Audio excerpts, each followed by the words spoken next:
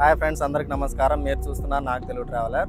Friends ఈరోజు మీ ముందుకు వెయ్యి సంవత్సరాల చరిత్ర కలిగిన శ్రీ మండం లక్ష్మీ నరసింహస్వామి దేవాలయం వీడియోతో మేము ముందుకు రావడం జరిగింది.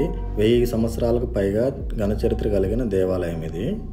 మన పెద్దవాళ్ళ కాలంలోనే అన్నమయ్య ఈ ప్రదేశాన్ని సందర్శించి ఆలయంలోని నరసింహస్వామి పైన కీర్తనలు రచించారని చెప్తున్నారు. ఈ ఆలయాన్ని కనుక మీరు చేరుకోవాలనుకున్నట్టయితే రాయచోటి అన్నమయ్య జిల్లా నుంచి మనం చిన్నమండం వెళ్ళే దారిలో జల్లావాండ్లపల్లి అనే ఒక ఊరు వస్తుంది. ఆ ఊరిలో మనకి దేవగుడిపల్లి అని ఇక్కడ మీకు బోర్డు పైన కనిపిస్తున్న చూడండి. ఈ దారి గుండా ఒకటిన్నర కిలోమీటర్ లోపలికి వెళ్ళినట్టయితే ఈ ఆలయాన్ని మీరు చేరుకోవచ్చు. సో లేట్ చేయకుండా వీడియోలోకి వెళ్ళిపోదాం రండి ఫ్రెండ్స్.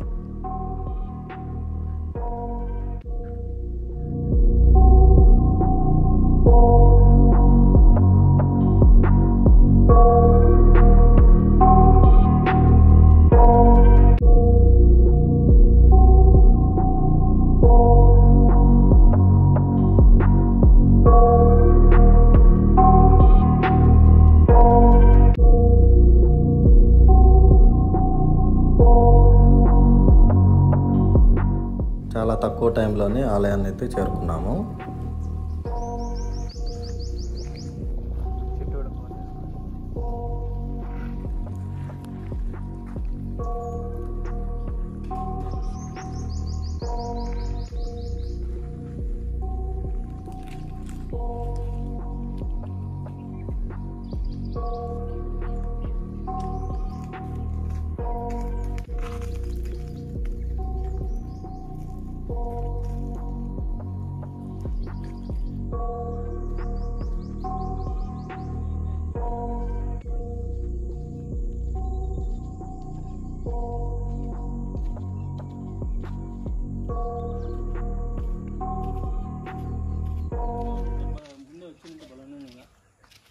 రోడ్డుకుందని కొట్టేసింటారు.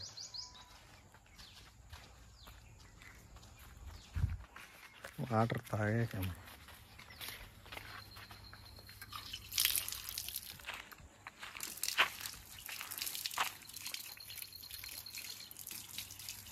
ఫ్రెండ్స్ వెయ్యి సంవత్సరాల చరిత్ర కలిగిన శ్రీ లక్ష్మీ నరసింహస్వామి టెంపుల్ ఇదే మీకు బ్యాక్గ్రౌండ్లో కనిపిస్తున్నాను చూడండి. ఈ టెంపుల్ వీడియోని తీసడానికి నాతో పాటు హర్ష అన్న కూడా వచ్చాడు. మీ ఇద్దరం కలిసి వీడియో తీయడానికి లోపలికి వెళ్తున్నాము మీది సొంత ఊరు ఏదినా మాది రెడ్డమకొండ చెల్లపల్లి మీ మీ ఊర్లో ఫేమస్ టెంపుల్ ఏమైనా ఉన్నాయా? పేర్లోనే ఉంది రెడ్డమ్మకొండ చెల్లపల్లి అని. అక్కడ వచ్చేసరికి అమ్మవారు రెడ్డమ్మకొండ తల్లి.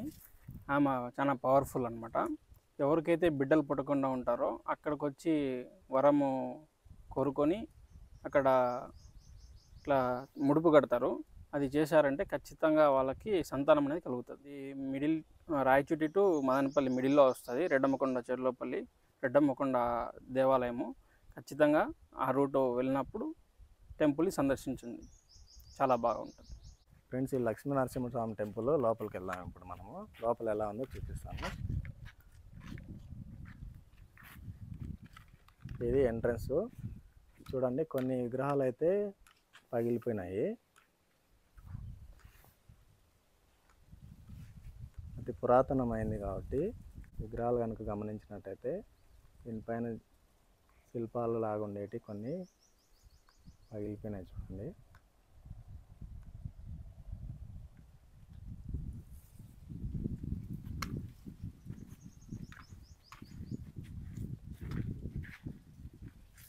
స్మారక చిహ్నం ఇది. పంతొమ్మిది వందల అరవై ఐదు సంవత్సరంలో ఆంధ్రప్రదేశ్ ప్రాచీన చారిత్రక చిహ్నము. ఈ ఇక్కడ మీకు గమనించినట్టయితే పంతొమ్మిది వందల అరవైలో ఏడవ చట్టం ప్రకారము ఈ స్మారక చిహ్నాన్ని ప్రకటించబడినారంట. దీన్ని ధ్వంసం చేయడము తొలగించడము పాడు చేయడము మార్పు చేయడము రూపం చెడగొట్టడం చేసినట్టయితే ఖైదు శిక్షకు ఐదు వేల రూపాయల వరకు జరిమానా లేదా ఈ రెండింటికి పాత్రలు అవుతారని ఇక్కడ ప్రింట్ చేసినారు. అదే అదే. టెంపుల్ లోపలగా ఎట్లా ఉందో చూద్దాము.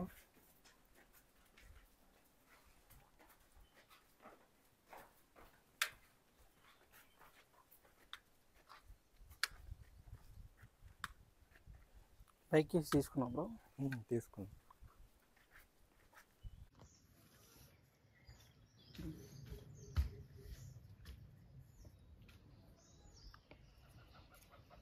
ఆలయం లోపల నుంచి ముఖద్వారం ఇది.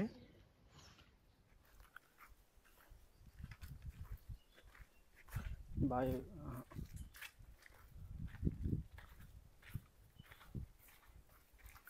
అప్పట్లో హోమాలు చూడు. అది చూపించు. అప్పట్లో హోమాలు హోమం చేసేటివి చాలా పురాతనమైన వల్ల పెద్ద పెద్ద బండరాలు సైతం కూడా పడిపోయినాయి చూడండి.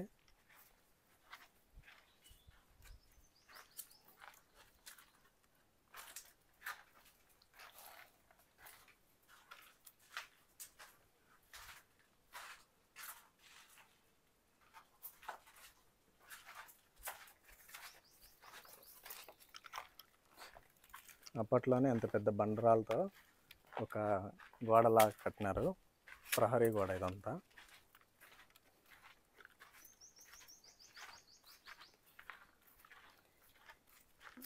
ఇక్కడ మీరు గమనించినట్టయితే ఒక మండపం ఉంది చూడండి. ఈ మండపంలో పెళ్ళిళ్ళు జరిగేవి అనుకుంటాను. బాగా గమనించినట్టయితే మండపము వరిగిపోయింది చూడండి. స్తంభాలు కూడా మొత్తం వరిగిపోయినాయి.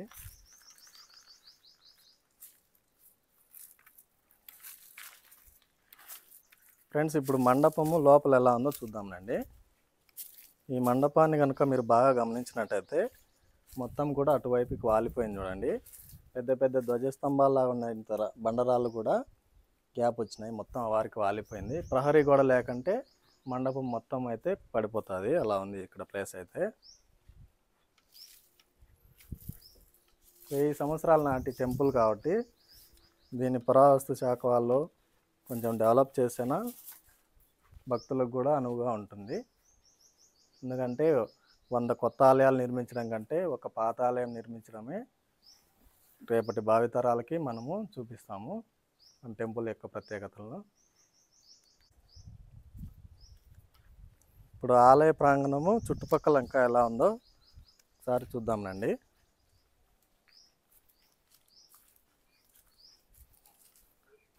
ఇది మెయిన్ ఆలయం ఈ ఆలయం పైన కూడా మీరు గమనించినట్టయితే అక్కడక్కడ బొమ్మలు ముద్రించినారు చూడండి. శిల్పాలలాగా మొత్తం టెంపుల్ చుట్టుపక్కల కూడా శిల్పాలు చెక్కినారు. ఇక్కడ చూసారంటే వ్యూ అనేది చాలా అద్భుతంగా ఉంది. ఈ సన్ రైజ్ ఈ సన్సెట్ ఉంది. అది ఇలాగ గుళ్ళేకి పడుతుండగా వ్యూ అనేది చాలా స్పష్టంగా కనపడుతుంది. చాలా బాగుంది. ఎప్పుడైనా మీరు ఇరు హెడ్ఏక్గా అలా ఫీల్ అవుతున్నప్పుడు రిలాక్స్ కోసం ఇటువంటి ప్లేసులకు వచ్చారంటే కొద్దిగా బాగా రిలాక్స్ అవుతారు. స్వామివారికి ఏదైనా అభిషేకించిన తర్వాత అభిషేకం నీళ్ళు అన్నీ పోవడానికి కూడా జాగ్రత్తలు తీసుకున్నారు. వెయ్యి సంవత్సరాల చరిత్ర కలిగిన టెంపుల్ అయినా కూడా చాలా బాగుంది. ఇలాంటి టెంపుల్ నా ఛానల్ ఇదే మొదటిసారిగా తీసుకున్నాను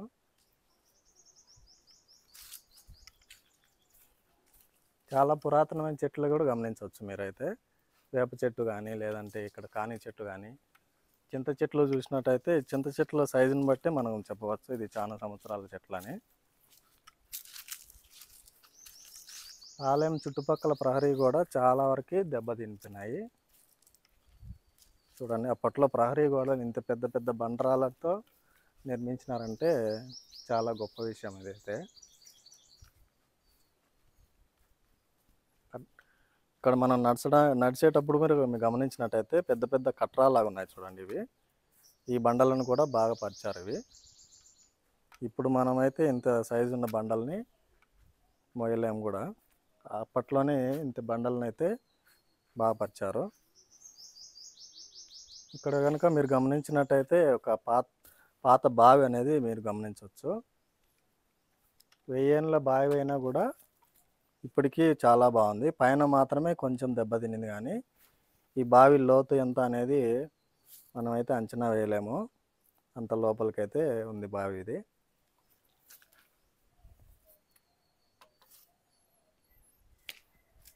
ఈ బావికి దగ్గరలోనే ఆంజనేయ స్వామి విగ్రహం ఉంది చూడండి. ఆంజనేయ స్వామికి కూడా పూజలు జరుగుతాయి ఇక్కడ.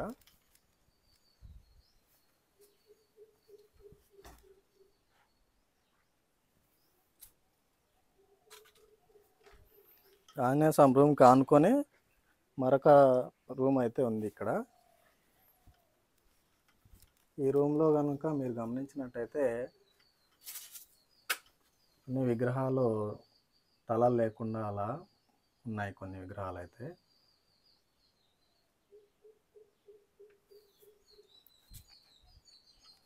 పురావస్తు వాళ్ళు కొంచెం చొరవ తీసుకొని ఈ టెంపుల్ని ఇంకా బాగా డెవలప్ చేస్తే మంచిదనే ఉద్దేశంతో వీడియో తీస్తున్నాను. వెయ్యి సంవత్సరాల టెంపుల్ని మనమైతే కాపాడుకోవాలా? ఇది ధ్వజస్తంభము.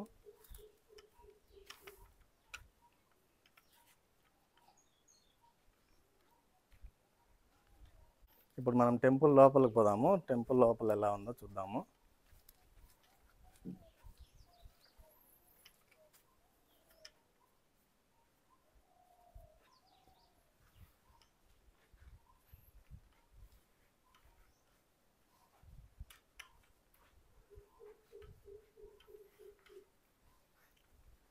టెంపుల్ లోపల కనుక వచ్చినట్టయితే మీకు లక్ష్మీ నరసింహస్వామి దర్శనం ఇస్తారు లోపల.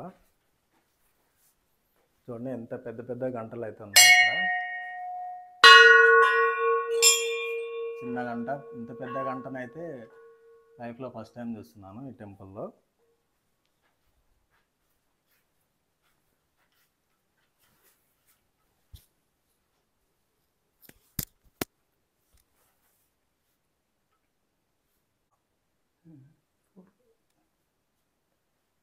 లక్ష్మీనరసింహస్వామి లక్ష్మీ నరసింహస్వామి